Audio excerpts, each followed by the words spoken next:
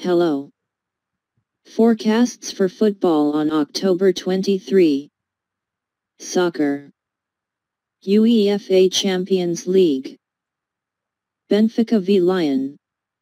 Goals under 2.5.